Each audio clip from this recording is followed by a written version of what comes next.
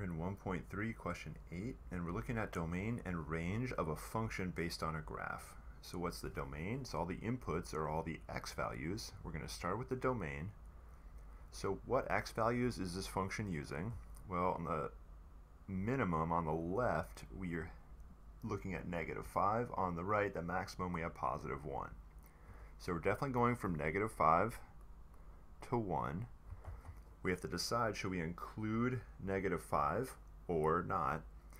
Looking at the graph here, this circle, the empty circle means do not include that point. So the negative 5 we do not include, and the way we write that is a parenthesis on the left. Now for positive 1, this point is filled in, which means use positive 1, and that's going to be a square bracket. So now the range is all the y values. So we're going to look at the y values here. We're definitely going from 2 to 4 and all the y values in between.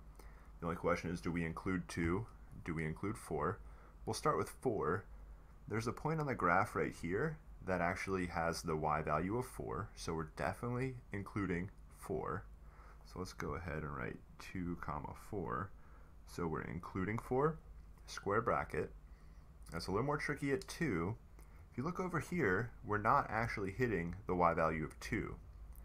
But that's not the only time that we get close to 2. We also get close to 2 over here, and what happens on the right? We hit the y value of 2.